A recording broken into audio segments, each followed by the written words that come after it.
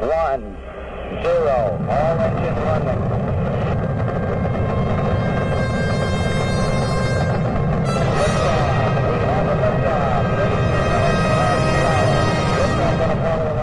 Há mais de 50 anos que o homem viajou pela primeira vez ao espaço.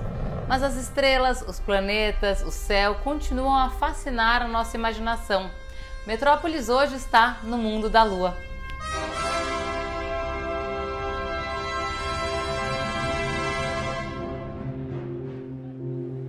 Americans love stories.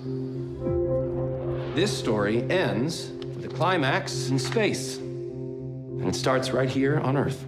I will start with a quote from an Irish poet that says that we are all in the gutter, but some of us are looking at the stars. Oh man, what a great that's a great quote. What I love about looking up and the stars and space and all of it is is how tiny it makes me feel. It reminds me of how precious what this time is um, that we have on this planet. Oh, Trudy. There's someone here waiting for you. Trudy Cooper is both a pioneer and a woman of her time. How was to fit in her shoes? I started with literally literally trying to fit in her shoes um, in the way that I talked a lot with Hope Hanafin, who's the costume designer, about the fact that I thought that she would wear flats whenever she could, and also pants. To what honor do I owe this? I felt really lucky to play Trudy Cooper and and in the process of getting to know her as a person, I I feel like I aspire to be a lot like her.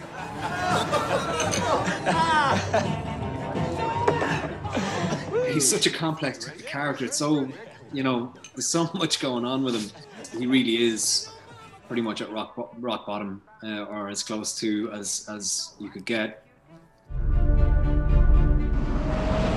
Then somehow he manages to become one of the one of the seven most famous people on the planet at that time. Fly me to the moon.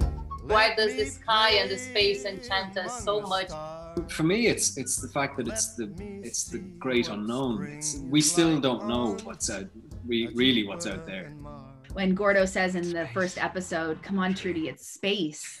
Like that to me sums it all up. I think that is what bonded them together very, very deeply was that love of the beyond and the unknown. Hoje eu vou contar uma história bem singela.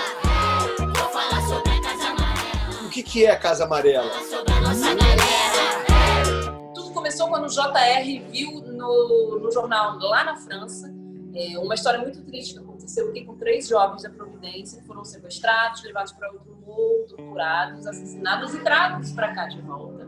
Ele viu aquilo e decidiu vir para cá de, de, de conta própria, por conta própria, para fazer um trabalho com a, as mães desses jovens. E aí aqui ele conhece Maurício Ora, fotógrafo, cria do Morro da Providência, com quem ele irá fundar a Casa Amarela.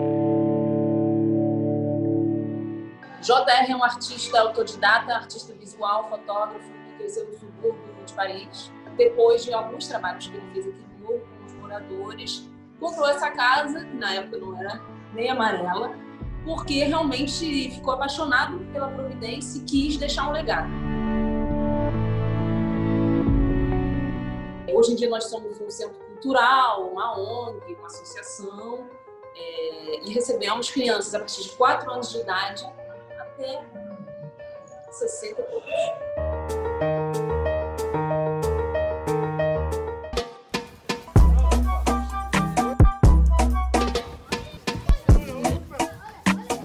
Casa Amarela está situada numa região muito importante do Rio de Janeiro, que é a região portuária, que é chamada de Pequena África.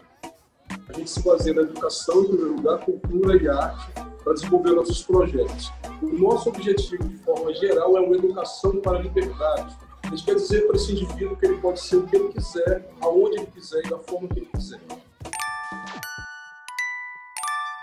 O porquê de ser uma lua, bem, porque é, o, o intuito do nosso trabalho, de alguma forma, é realmente provar que a gente pode chegar até ela, se a gente quiser.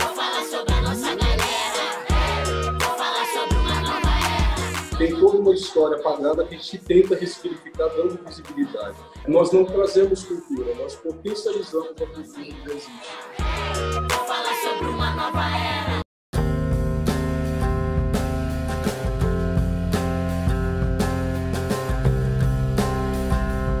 The was a comet. I don't know if you could see it where you live, but um, but we, we could see it here in North America, and it was one of the most profound things I've ever seen. You could see this comet with your naked eye. It's a great feeling because as adults, we feel like we should have the answers to everything, or we should, in some way, be mature and know everything. But when you see stuff like that, when you look up into the sky and you go, you feel like a kid again. O Metrópolis de hoje fica por aqui, mas a gente segue nas nossas redes sociais e te encontra amanhã. Até!